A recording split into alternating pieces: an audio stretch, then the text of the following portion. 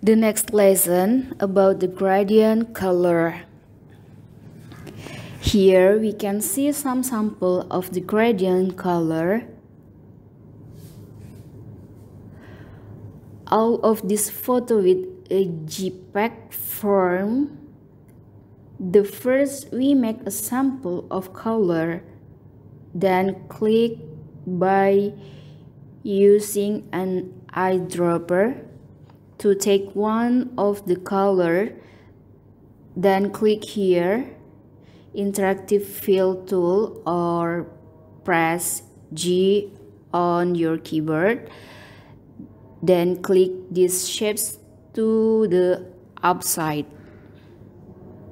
Then here the white box chooses color eyedropper again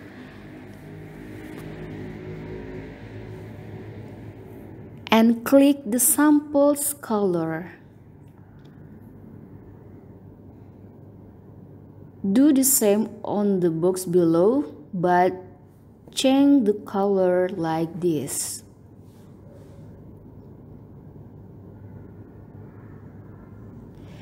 Here there are five colors and this is as well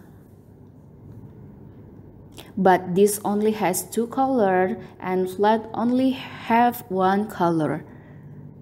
To make this just the same by using an eyedropper to select one of the color, press G on the keyboard or interactive fill tools. But how to make an addition color?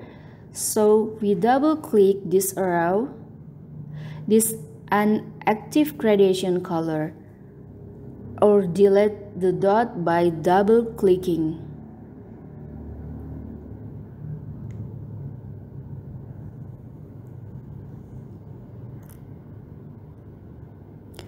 The adding some dots here by doing like this.